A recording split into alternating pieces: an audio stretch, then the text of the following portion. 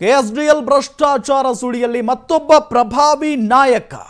ನಾಯಕರ ಹೆಸರು ಇಲ್ಲಿ ಕೇಳಿ ಬಂದಿದೆ. ಕೆಎಸ್ಡಿಎಲ್ ಡೀಲ್ ಬಗ್ಗೆ ಹೊಸ ಬಾಂಬ್ ಸಿಡಿಸಿದ್ದಾರೆ ಶಿವಶಂಕರ್. ಕೆಎಸ್ಡಿಎಲ್ ನೌಕರರ ಒಕ್ಕೂಟದ ಅಧ್ಯಕ್ಷ ಶಿವಶಂಕರ್ ಅವರು ಹೇಳಿಕೆಯನ್ನ ಕೊಟ್ಟಿದ್ದಾರೆ.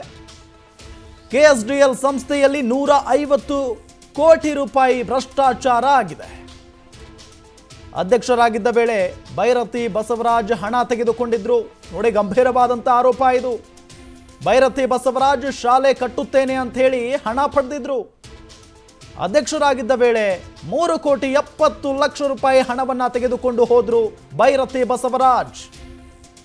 ಆ ಹಣ ಎಷ್ಟರ ಮಟ್ಟಿಗೆ ಉಪಯೋಗವಾಗಿದೆ ಗೊತ್ತಿಲ್ಲ.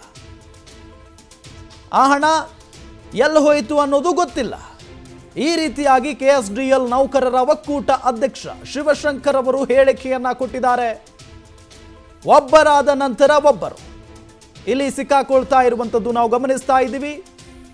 ನೂರ ಐವತ್ತು ಕೋಟಿ ರೂಪಾಯಿ ಹಗರಣ ಭೈರತಿ ಬಸವರಾಜ್ ಅವರ ಮೇಲೆ ಬಂದಿರುವಂಥದ್ದು ಆರೋಪ. ಕೆಎಸ್ಡಿಎಲ್ ಭ್ರಷ್ಟಾಚಾರದ ಸುಳಿಯಲ್ಲಿ ಪ್ರಭಾವಿ ನಾಯಕ ಬೈರತಿ ಬಸವರಾಜ್ ಅವರು ಸಿಕ್ಕಾಕೊಂಡಿದ್ದಾರೆ. ಅಥವಾ ಅವ್ರ ಮೇಲೆ ಆರೋಪ ಈಗ ಕೇಳಿ ಬರ್ತಾ ಇದೆ. ಈ ಆರೋಪವನ್ನ ಮಾಡ್ತಾ ಇರುವಂಥದ್ದು ಎಲ್ ನೌಕರರ ಒಕ್ಕೂಟ ಅಧ್ಯಕ್ಷ ಶಿವಶಂಕರ್. ಬಿಜೆಪಿ ಸರ್ಕಾರದಲ್ಲಿದ್ದಂತ ಬೈರತಿ ಬಸವರಾಜ್ ಮೂರು ಕೋಟಿ ಎಪ್ಪತ್ತೈದು ಲಕ್ಷ ರೂಪಾಯಿ ತಗೊಂಡೋದ್ರು. ಇವತ್ತು ಸಿ ಎಸ್ ಆರ್ ಫಂಡ್ ಎರಡು ಪರ್ಸೆಂಟ್ ಕಂಪ್ಲೀಟ್ ನಮ್ಮ ಏನು ಟರ್ನ್ ಓವರ್ನಲ್ಲಿ ಎರಡು percent corporate responsibility some fund ಹೋಗ್ತದೆ.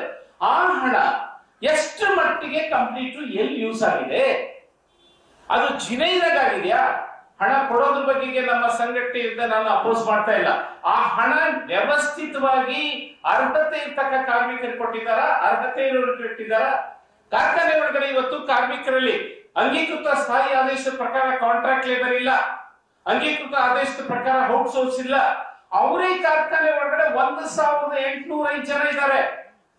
ರಾಜಕೀಯ ಅದಕ್ಕೆ ಬೇಕಾಗಿರ್ತಕ್ಕದ್ದು ಒಂಬೈನೂರ ಅರವ- ಅರವತ್ತು ಜನ ಸ್ಯಾಂಕ್ಷನ್ ಪೋಸ್ಟ್ ಇದ್ರು ಒಂದು ಸಾವಿರದ ಎಂಟುನೂರು ಜನ ಬಂದಿದ್ದಾರೆ ಅಂತಂದ್ರೆ ರಾಜಕೀಯ ಎಲ್ಲ ನಾನು ಬಂದಿದ್ದೀನಿ ನನ್ನ ಕಡೆ ಇದ್ದರೆ ಜನ ಹೋಗ್ಲಿ, ನೀನ್ ಬಂದಿದ್ದೀನಿ ನಿನ್ ಕಡೆ.